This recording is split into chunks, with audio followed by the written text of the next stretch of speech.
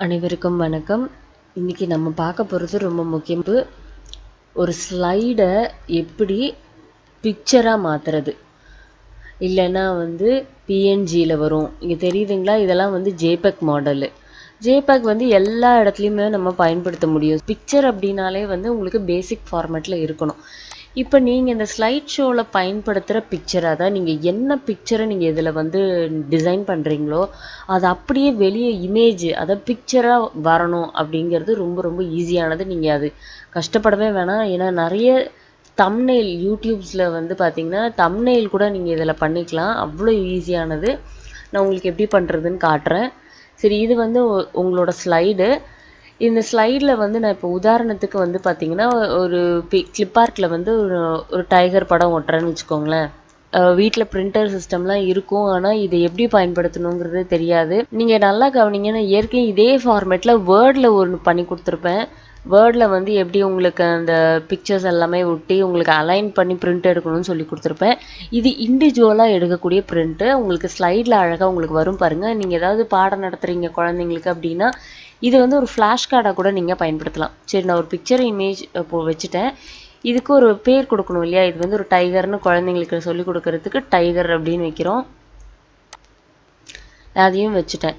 சரி இப்போ அடுத்தது நல்லா கவனிங்க. இதில் ரொம்ப முக்கியமானது வந்து பார்த்தீங்கன்னா இதை நீங்கள் பிரிண்ட் எடுக்கிறதுக்கு முன்னாடி இதை வந்து ஒன்றா சேர்க்கணும். இந்த ரெண்டுத்தையுமே வந்து ஒன்றா சேர்க்கணும். கவனிங்க அது எப்படின்னு சொல்லித்தரேன். பிக்சரை ஒரு தடவை கிளிக் பண்ணிங்கன்னா நாலு பக்கம் கார்னர் பாயிண்ட்ஸ் வருதுங்களா? சரி அடுத்து ஷிஃப்ட் பட்டனை பிடிச்சிக்கோங்க. ஷிஃப்ட் பட்டனை அமுக்கிக்கிட்டே திரும்ப டைகரையும் அமைக்கிடுங்க இப்போ பாருங்கள் எ- ரெண்டுத்துலேயுமே வந்து அந்த நாலு கார்னர் பட்டன் இருக்கும். இப்போ ஷிஃப்ட் இல்லாமல் பண்ணுறப்ப என்ன ஆகும்னு நல்லா கவனிங்க. இதை வந்து நான் கிளிக் பண்ணுறேன் திரும்ப இதை நான் கிளிக் பண்ணுறேன் ஏதாவது ஒன்று தான் உங்களுக்கு அந்த பார்டர் கொடுப்பாங்க. இப்போ ஷிஃப்ட்டை அமைக்கிட்டு நம்ம இதை கிளிக் பண்ணுறதுனால ரெண்டுமே பார்டர் கட்டிட்டாங்க. சரி அடுத்து ஏற்கனவே நான் சொல்லி தந்த அரேஞ்ச் ஆலில் பார்த்தீங்க அப்படின்னா குரூப் அப்படின்னு ஒரு ஃபார்மேட் உண்டு.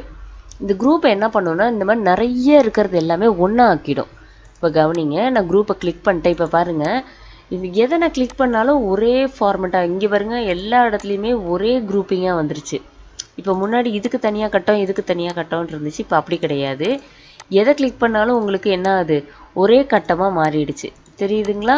இப்போ நான் மூவ் பண்ணி வைக்கிறப்ப கூட தெரியுதுங்களா? பிக்சரும் பாக்ஸும் சேர்ந்தே மூவ் ஆகும். புரியுதுங்களா? சரி அடுத்து. இது வந்து குரூப்பிங்னு சொல்லுவாங்க. இது அன்குரூப் கூட பண்ணிக்கலாம். எப்படின்னா அதே மாதிரி தான் திரும்பவும் நீங்கள் ஷிஃப்ட் பிடிச்சி கிளிக் பண்ணிக்கோங்க. அரேஞ்சில் போய் அன்குரூப் கொடுத்துட்டிங்கன்னா அன்குரூப் ஆகிடும் இப்போ தனியாக டைகர் மட்டும் தனியாக வந்துடும் புரியுதுங்களா? சரி அடுத்தது. இப்போ நான் வந்து டைகரை வந்து இந்த இடத்துல வச்சுருக்கேன். சரிங்களா? நான் வந்து சென்டர்லேயே வைக்கல. ஆனால் இது அதுவே சென்டர் பண்ணிக்கும். எப்படி? அதே மாதிரி தான் இப்போது ரெண்டுத்தையும் செலக்ட் பண்ணுங்கள் ஷிஃப்ட் அமுக்கிட்டு ரெண்டுத்தையும் செலக்ட் பண்ணிக்கோங்க.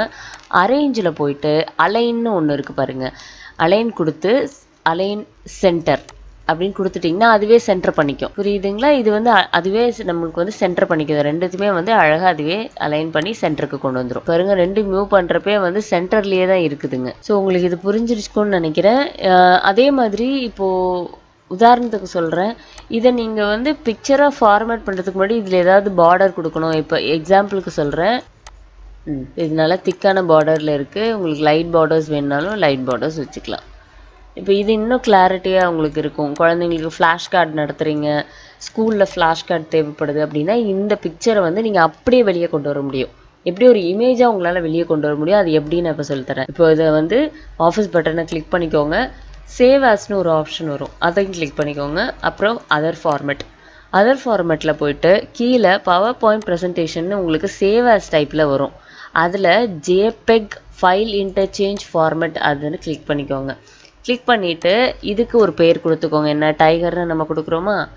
கொடுத்து சேவ் அப்படின்னு கொடுத்துருங்க.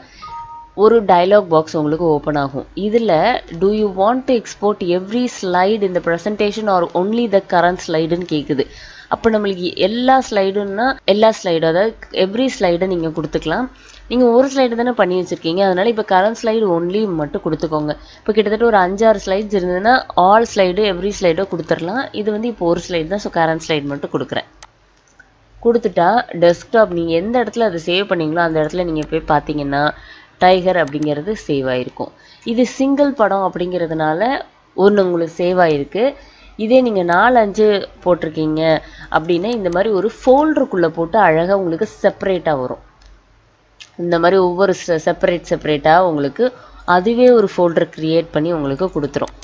சரி இது வந்து பாருங்கள் இது ஒரு இமேஜ் உங்களுக்கு நல்லா தெரியும் உங்களுக்கு ஷ்ரிங்க் பண்ணி காட்டுறேன் பாருங்கள் இது ஒரு ஃபோட்டோ ஃபோட்டோ இமேஜ் இதை நீங்கள் அப்படியே கூட நீங்கள் பிரிண்ட் எடுத்து அழகாக நீங்கள் குழந்தைங்களுக்கு பாடம் நடத்த முடியும். இது புரியுதுங்களா?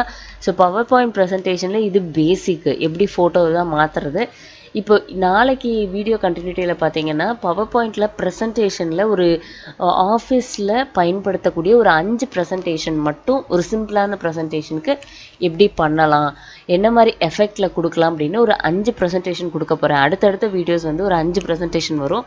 அதை மட்டும் பாருங்கள் ரொம்ப நன்றி.